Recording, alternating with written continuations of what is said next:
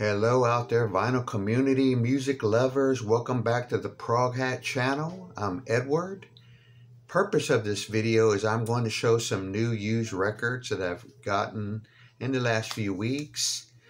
And before I begin that, I got a couple of things that I want to mention. I did go ahead and put an order in for that super big deluxe box set of the Who's Next. I just said, you know what, I'm going to do it. I'm going to trade for it and make it happen. So I'm, I'm looking forward to that. It comes out next month. The other thing is, I'm looking forward. I just got a notification that a record that I ordered, the new album by the Strawbs. The title escapes me right now, but I'm looking forward to picking that up.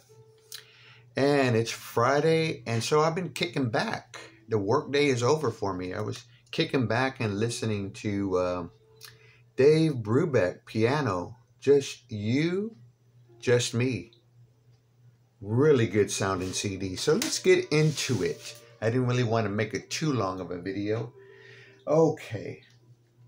So I got this on a clearance on Amazon for like under 20 bucks. And it came pretty quick.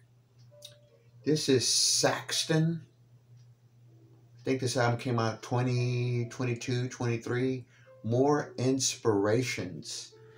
And what this is, is they do their versions of certain songs. See if you can see.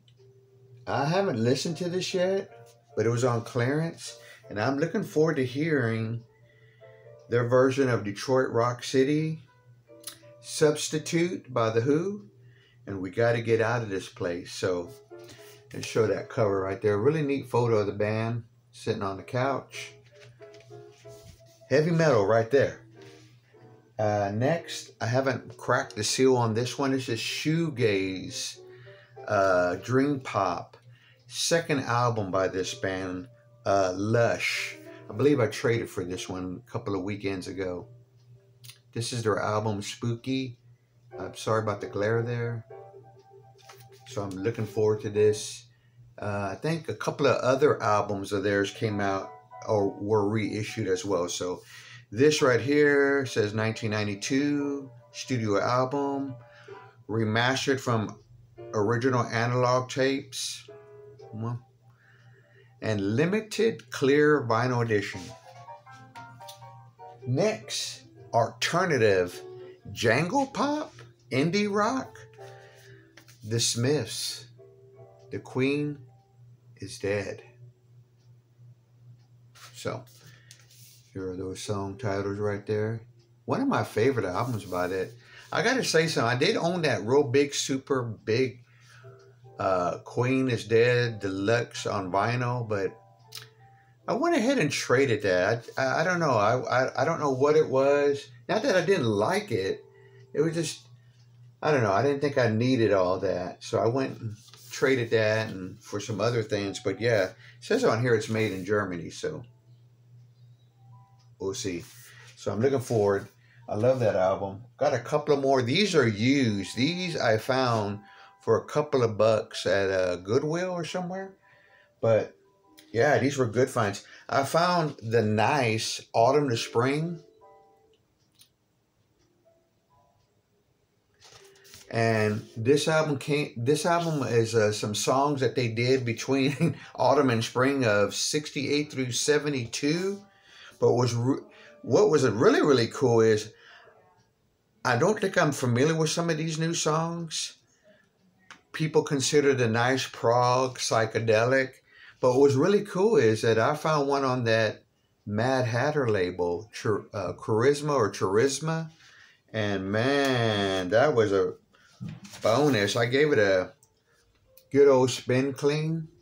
And I'm ready. To, I got this one ready, ready. I got a bunch of records ready to listen to that I cleaned uh, last weekend. And my last find that was um, a couple of bucks. I could not believe I found this. I've been looking for this. I didn't really want to order it off of eBay, and I've just been having bad experiences with Discogs some people just don't want to be truthful about records or sell you warp records or older records. That's been my experience, or you know, or try to auction off records way more above the price.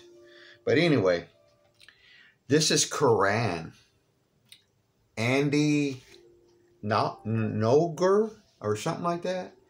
But this is a band that is krautrock. And so this album came out in 1974. I cannot believe I found this. I'm a big fan of this band and I'm looking to add some more because in a couple of more months, September, October, is going to be the record show here in Austin, Texas. And this is one band that I'm going to try to find some of their records as well as some other prog stuff. I'm looking for jazz there. I'm looking for some more to add in my Elvis Presley uh, collection. But yeah, I could not believe I found this for two bucks. Because I think on eBay and Discogs, they go for a little bit more, at least $20 record is a $20 record. And it's on that, uh, you know, Passport Records, which I still like that label. But anyway, just wanted to come on here before the weekend starts and share my uh, latest updates and finds. I hope everyone is doing well out there. And again, I want to thank uh, again for all the new subscribers. Um, if you get the chance and you see this video, please hit the like. If you like what I'm doing here, hit the subscribe button. And I really appreciate it. Appreciate the comments. Take care and I'll see you soon.